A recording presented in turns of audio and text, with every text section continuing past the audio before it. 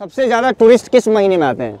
Actually आता है यहाँ से स्टार्टिंग यहाँ अप्रैल से ही होता है। अप्रैल से? अप्रैल से यहाँ स्टार्टिंग होता है। हाँ। और ज़्यादातर रे- रे- रश रहता है यहाँ जून जुलाई में। जून जुलाई में ज़्यादा आते हैं? हाँ, ओके। ये सी, वैसे भरा हुआ देखिएगा आप हाउस बोट भी। हाँ। उसमें यहाँ उस टाइम में यहाँ रूम भी नहीं मिल रहा है। इतना रश रहता है यहाँ। अच्छा ये हाउस बोट इधर हाउस बोट आप दिखाए एक बार कैमरा से दिखाई ये है।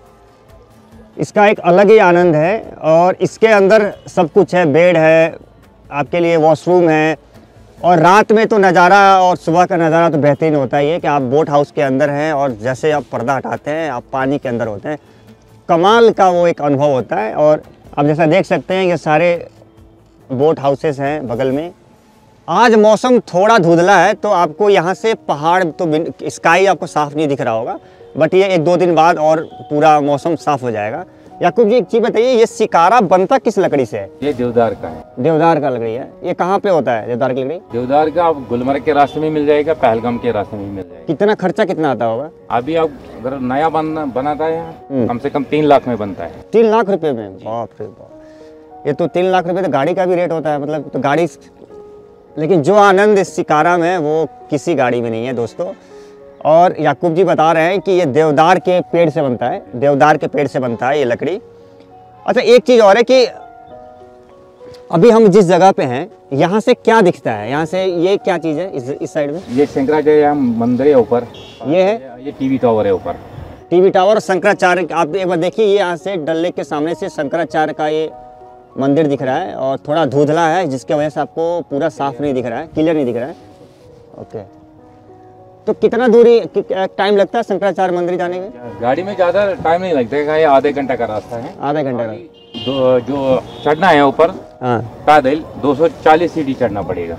दो सौ चालीस सीढ़ी। ये चप्पू है देख रहे हैं बहुत ही खूबसूरत ये दिल के आकार का बना हुआ चप्पू है। बढ़िया है। ये कहाँ जा रहे हैं? बोट तो अपना मुड़ गया पूरा। हम तो इसी से अच्छा कैसे करें नहीं स्टेयरिंग घुमाने कैसे घुमाएँ इसको हम? ये उल्टा करें?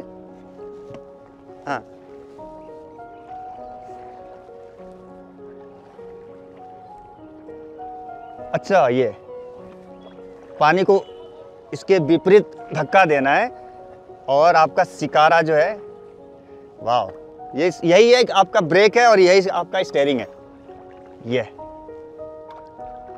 ये। अब पानी को पीछे की तरफ़ धक्का देना है, जिससे हमारा शिकारा आगे बढ़ेगा और आपको हम बताएँगे स्टेप बाय स्टेप कहाँ पे क्या दिखता है और कैसा दिखता है। याकूब जी, आपके मान का है, मेरे बस का नहीं है। आप गाड़ी को आगे ले चले अब।